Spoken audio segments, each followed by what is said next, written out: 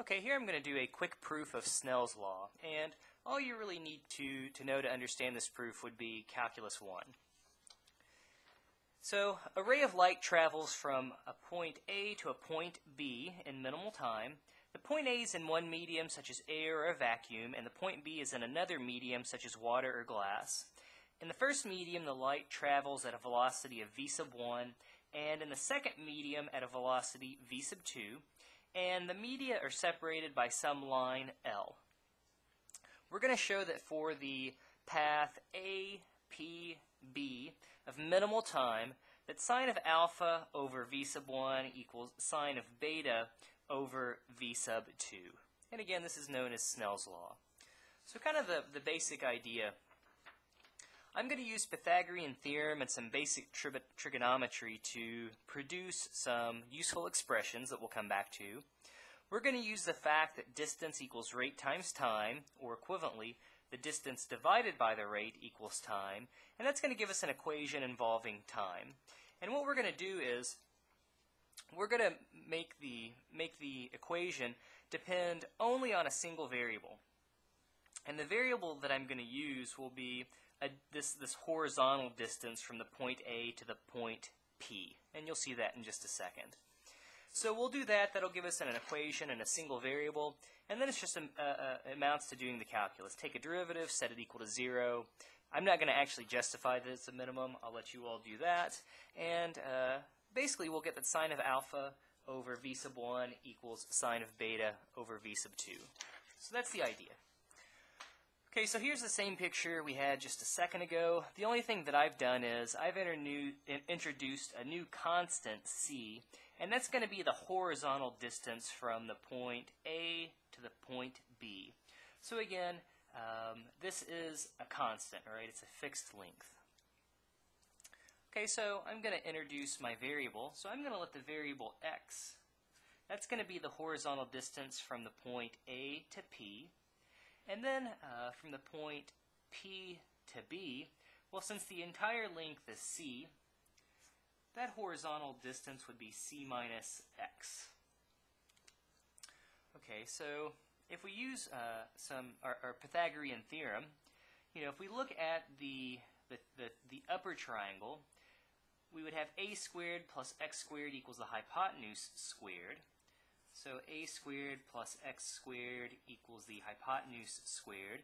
Or equivalently, the hypotenuse is just going to be the square root of a squared plus x squared. So I'm going to label that distance.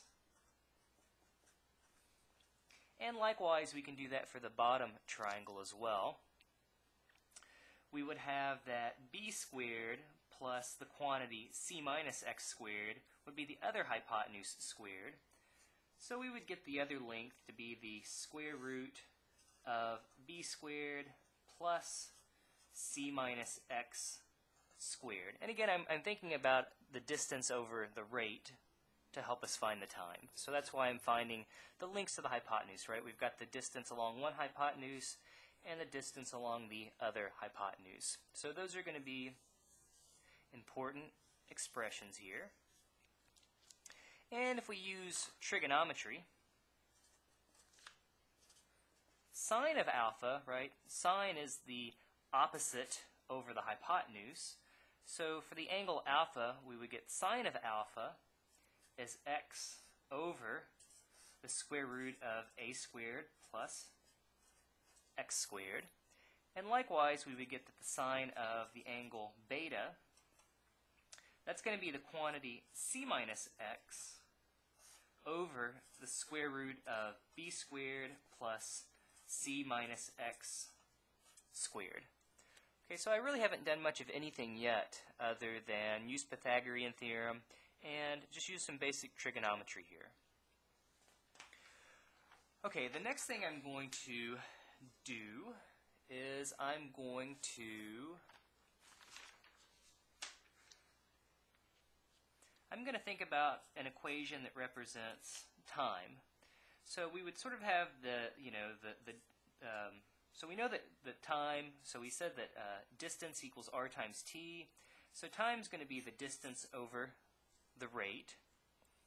So the time total, and I'm just going to abbreviate that as t in a second, that's going to be the time spent along, you know, the upper portion plus the time spent traveling along the, you know, bottom portion below the line L. Is how I thought about it. So again, to get the time on the upper portion, we would take the distance it travels, which is the square root of a squared plus x squared. So the rate, we said, eh, in the upper portion, it had a velocity of v sub 1, and the time spent along the bottom portion, again, that's going to be the other distance, which we found using Pythagorean theorem. So that's going to be the square root of b squared plus c minus x squared all over v sub 2, and that's going to be our time t. All right, so we've now got an expression that tells us time, all in terms of the variable x. So you can imagine, you know, as x changes here, this distance, you know, where the light would hit, it's going to give you uh, different, different times traveled. But again, the only variable that we have in our equation here is x. a is a constant, v sub 1 is a constant, b is a constant, c is a constant, and v sub 2 is also a constant. So now all we have to do is step 3, which is to take a derivative. So I'm going to take the derivative with respect to x of both sides. And then we'll set that equal to 0 and solve. So I'm going to do one more step here. I'm going to rewrite our equation. So t is going to be the We've got a squared plus x squared. I'm going to write this to the 1 half power. We'll have to use the chain rule over v sub 1 plus, and then the same thing. We've got b squared plus c minus x squared, all of that raised to the 1 half power over v sub 2. And now I'm just going to start taking a derivative here. So it says the derivative of our equation here with respect to x well, again, v1 is a constant. We, we don't have to think about the, uh, you know, the quotient rule or anything there. That's just going to come along. So if we take the derivative, we'll have 1 half of a squared plus x squared. We'll subtract 1 to give us negative 1 half. We have to take the derivative of the inside part. Again, a squared is just a constant, so the derivative of that portion will be 0. And the derivative of x squared, well, we'll just get 2x. And again, v1 is just kind of hanging out there. Take the derivative of the other part. We have 1 half. We'll leave the inside alone. Raised to the negative 1 half power.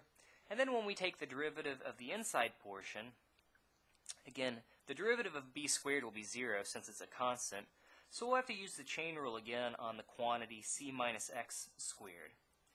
So we would have 2 times, well, we'll leave the inside alone, subtract 1 from the exponent, then we would have to use the chain rule one more time. The derivative of the inside part, c minus x, again, c is a constant, so the derivative of negative x would just be negative 1.